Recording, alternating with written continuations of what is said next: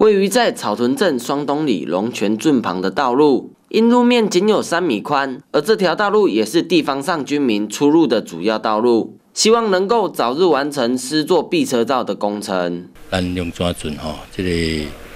啊，避车道吼，闪车啊，甲行车安全问题吼，用怎准多多贯穿伫咱正正头吼，这个航道内底，所以咱伫正头小闪车啊，甲行路的人吼，因为航道上下吼，所以必须要有这个避车道这个兴建吼，啊，这个就是拜托县长。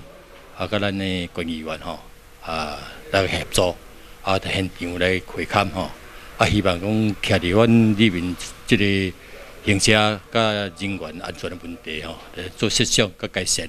一直困扰着山东里民交通上的问题，多次向里长陈情，而里长也希望增设避车道，能够减少交通的事故。这两转专家吼，诶，人车啦，人要小闪吼，拢足。困难的吼，啊，上过下啊，里面吼，反映讲做就爱用一个避车道啦吼，啊，真感谢馆长甲甲议员吼来遮甲阮关心啦。县议员李作忠接获陈情后，并立即前往会勘。李远也说到，县长也允诺施作避车道，希望能够解决地方上居民的困扰。啊，来回看两庄村啊，这个灌溉沟吼啊，要来看挂吼啊，要来做避车道吼。因为这条航路呢，啊，足侪乡亲、足侪里民呢，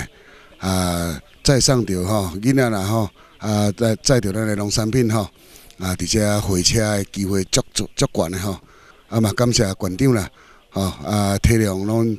咱相当地所有乡亲啊，这个需要吼，啊，特别答应吼，啊，来啊，看着三十米吼。三十米长的，而这个灌溉沟吼，这个避车道吼，啊，互乡亲行驶来啊，开车拢方便吼，啊，安全。希望在县长及县议员李周忠会勘之后，能够解决地方上居民的交通不便，更能降低交通事故。